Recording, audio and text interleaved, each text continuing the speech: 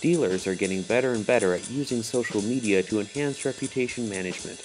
And now, content has become an increasingly important element for dealers to communicate with customers. I think dealers are getting much smarter about the use of social um, for the upper level of the funnel, for reputation building, um, and obviously that's a lot of where uh, content comes in. Um, but also that what they've always been good at is dealing with people. And, and what is social but people dealing with people? And I think if dealers continue to concentrate on their ability to be good people, people, um, then, uh, then it'll obviously pay off for them. Well, I think there's, uh, there's a few things. One is obviously keep building that uh, repository of content.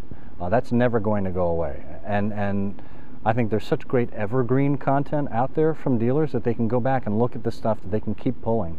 Or, or to look at their performance metrics and to see what content actually performed well and why. Um, maybe there was content that brought people into the showroom. Well, why is that? And under, understanding, this, this, is where the analytics come from. Really understanding the why behind the what. And, and if they concentrate more on numbers and um, you know, why certain things, you know, from, from drawing the insights, I should say, out of the numbers, that's going to help them become better decision makers.